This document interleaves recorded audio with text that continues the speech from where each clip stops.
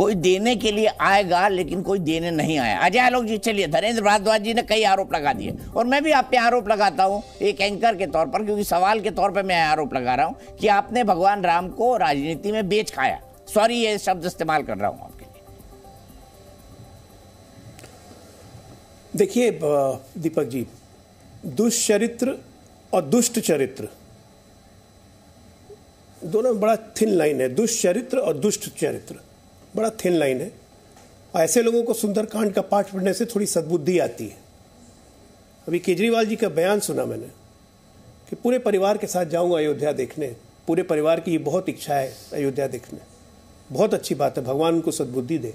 क्योंकि मुझे चार महीने पहले जामिया मिलिया इस्लामिया में रैली करते हुए वो केजरीवाल याद आते हैं, जिन्होंने अपनी नानी से पूछा था कि मैंने अपनी नानी से पूछा कि नानी, अब तो राम मंदिर बन रहा है, तुमको तो बहुत अच्छा लग रहा होगा। तो मेरी नानी ने मुझसे कहा कि नहीं बेटा, जो मंदिर, जो राम का मंदिर मस्जिद तोड़ के बनाई गई हो, ऐसे राम मंदिर में मैं कभी नहीं जाऊँगी। तो नानी की दुख हो रहा होगा, नानी रो रही होंगी। फिर मैं पंद्रह तारीख को बहन जी ने, अखिलेश जी को कहा था कि सब बहुत बड़े गिरगिट है। मैं कहता हूँ, गिरगिट से भी ज़्यादा कोई तेज़ी से रंग बदलता है ना तो वो एक ही आदमी है भारतीय राजनीति में, वो अरविंद केजरीवाल। ये उन्हीं के शब्द है, मेरे शब्द नहीं है नानी वाले।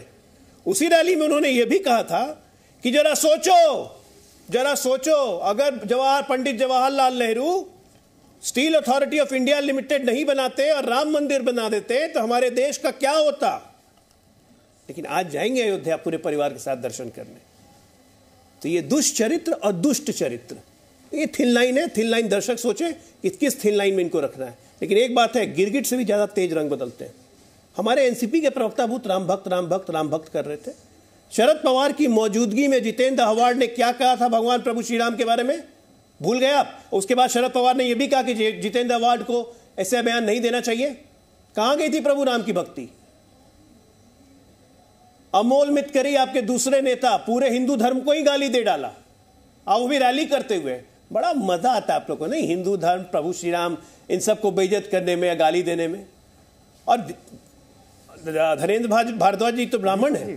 मैं पूछता हूँ इन्हीं से क्या ये ये नहीं जाएँगे खुद? इनको प्रभु राम में आस्था है लेकिन क्या केजरीवाल के ये बयान सही थे? कि नानी ने कहा कि जो मंदिर मस्जिद तोड़ के बनाई गई हो ऐसे मंदिर में मैं कभी नहीं जाऊँगी? क्या ये सही बयान था? आप नेता को एंडोर्स करते हैं। हाँ या ना बोल दें? बताइए धरेन्द्र जी कहा था अरविंद केजरीवाल जी ने ये? दीपक जी मैं फिर यही कह रहा हूँ भारतीय जनता पार्टी के सुन लीजिए सुन लीजिए सुन लीजिए अजय जी।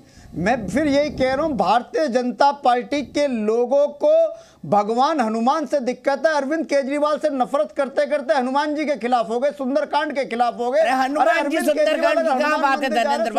उन्होंने सीधा सीधा एक सवाल पूछा कि अरविंद केजरीवाल जी ने कहा था अपनी नानी का नाम लेकर धरेंद्र जी। धरेंद्र जी धरेंद्र हमेशा चिल्लाने से कुछ नहीं होता धरेंद्र भाई। मैं आपको पूरा मौका देता हूँ। मुझे इस सवाल का जवाब दीजिए कि क्या अरविंद केजरीवाल ने ये कहा था कि मेरी नानी ने कहा कि अगर मस्जिद तोड़कर मंदिर बनाया गया तो ऐसे मंदिर में प्रभु नहीं जाएँगे या वहाँ नहीं जाना चाहिए। बताइए धनी जी कहा था अरविंद जी ने नहीं कहा था? दीपक जी दीपक जी दीपक जी मैं फिर वही कह रहा हूँ कि किसी भी धार्मिक स्थल को तोड़कर कोई धर्म नहीं कोई धार्मिक स्थल नहीं बन सकता। भगवान राम ने कहीं नहीं लिखा, कहीं रामायण में नहीं लिखा, कहीं किसी महापुराण में नहीं लिखा कि आप किसी धार्मिक स्थल को तोड़ दो। यह अच्छी बात नहीं है भारतीय जनता पार्टी के लोग तो तोड़फोड़ की राजनीति करते हैं। और मैं भारतीय जनता पार्टी के प्रवक्ता को याद दिलाना चाहता हूँ। ये कह रहे गिरगिट गिरगिट की तरह तो मोदी जी रंग बदलते हैं। सात सौ किसान मर गए, तब जाके इन्होंने किसान बिल वापिस लिया।